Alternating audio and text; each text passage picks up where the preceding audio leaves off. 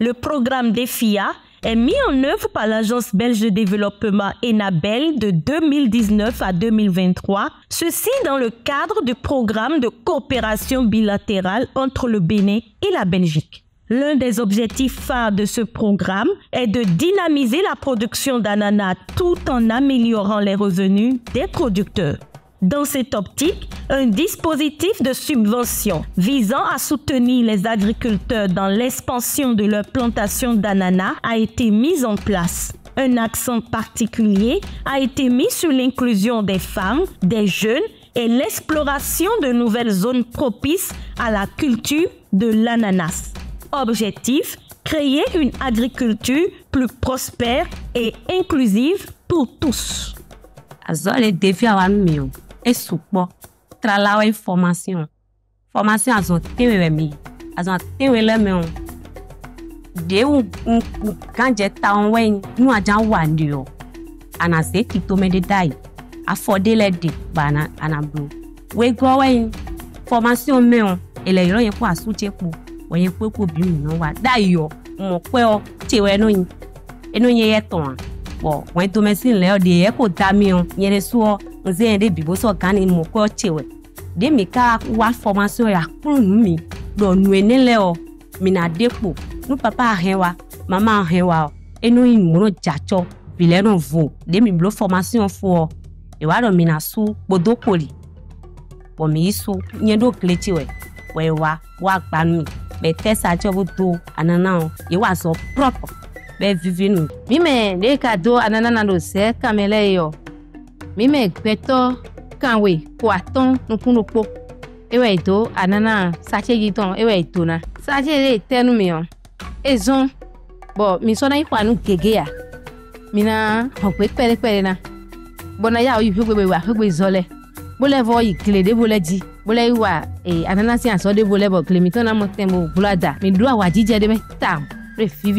La structure qui accompagne les femmes a été particulièrement proactive pour offrir des détails sur son approche d'accompagnement ainsi que les différents types de soutien dont ont bénéficié les femmes. Cette approche mettant en avant la personnalisation de l'assistance et l'adaptation des solutions pour répondre aux besoins spécifiques des femmes, leur permettant de prospérer dans le secteur agricole. Il y a d'abord les formations. Formation avec des outils adaptés aux analphabètes. Et cette formation était axée sur le développement personnel et le leadership. On a formé les femmes sur la planification, sur la recherche d'informations, c'est-à-dire la recherche de débouchés et la confiance en soi. Il y a eu un module technique où on leur a montré, on a montré à toutes, aux femmes le processus de production. Il y a eu la mobilisation des ressources, la mobilisation de la contrepartie. Pourquoi la mobilisation de la contrepartie? On ne va pas tout donner aux femmes. Donc on leur a demandé d'apporter juste une petite contribution. J'avoue que lorsque nous avions voulu démarrer la formation, on a créé des groupes mixtes et des groupes individuels femmes. Les groupes mixtes, c'est quoi? C'est des groupes de formation dans lesquels se trouvent les femmes et leurs époux. Mais dans les groupes individuels, c'est des groupes féminins. Rien que féminin, féminisé. C'est pour faire de la comparaison. Alors, lors des formations, nous avons fait des remarques. Avec les époux, les femmes produisent beaucoup. Parce que ils s'entendent, il y a de la complicité dans la production lors des formations. Mais là, on a constaté que c'est de la coproduction. Les femmes interviennent beaucoup moins. Mais dans les groupes où c'est les femmes seules qui sont là-bas, elles sont très expansives. C'est bien l'expérience parce que ça va nous permettre de savoir si un jour nous voulons que les femmes produisent, on va être obligé de les prendre toutes seules. Mais quand on veut faire de la coproduction pour amener les hommes à aider leurs époux dans la production, alors on invite les hommes et les femmes. Donc il y a eu un module qui, un module de formation pour les hommes et les femmes ensemble. Les changements qui, que nous constatons au niveau des femmes, c'est que premièrement, dans le domaine de leadership, elles ont totalement changé. C'est des gens qui aujourd'hui savent aborder les différents partenaires qui les approchent. Elles savent aborder leurs époux. Elles savent négocier entre elles. Elles savent échanger entre elles sans s'insulter. Maintenant, l'enthousiasme que nous constatons sur le terrain montre que c'est des personnes qui sont très engagées pour aller loin dans la production Pour les bénéficiaires résidant dans les zones d'extension de la production d'ananas, il est clair que la subvention joue un rôle essentiel dans le dynamisme de l'économie locale. En favorisant l'expansion de la culture de l'ananas, elle a un effet multiplicateur sur les opportunités économiques au niveau communautaire, contribuant ainsi à renforcer et à diversifier l'économie locale.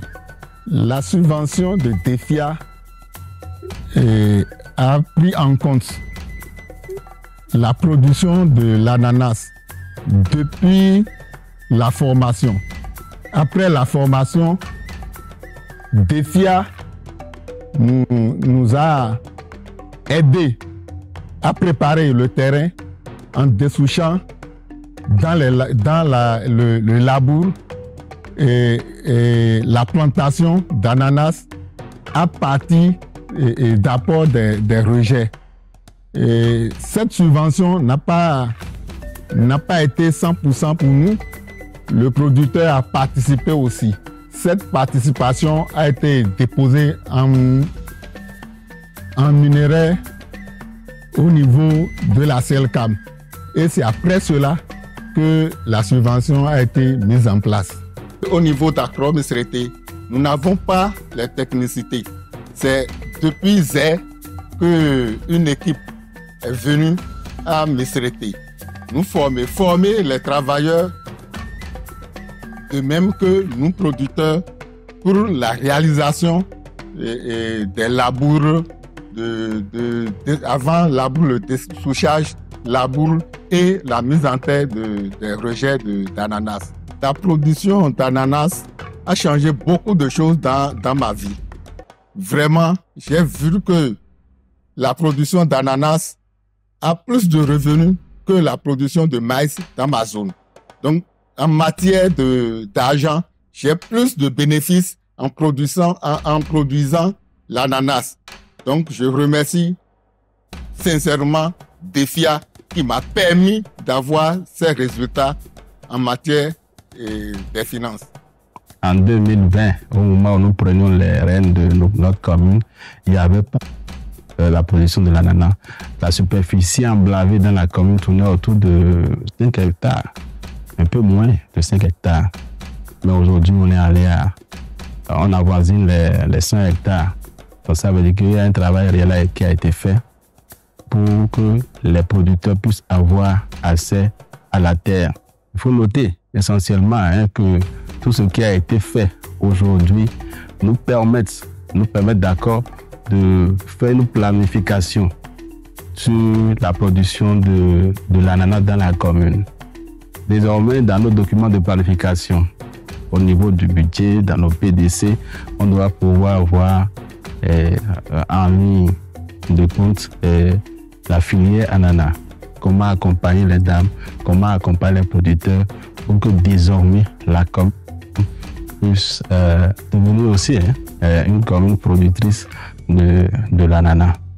Afin de faciliter l'accès à une main-d'œuvre agricole qualifiée, DEFIA a apporté son soutien à la création et à l'équipement des coopératives de prestation de services agricoles, plus couramment connues sous l'appellation COPSA.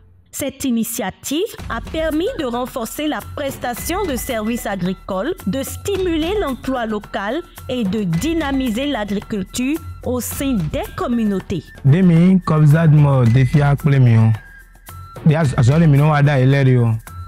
Nu mi gba labo ɔdi o mi sɔnɔ ehun atinta ɖe dzo ye adzo ɖe do do ma su dodo ma dzrɔ ge dze do mɔ gidzagidza.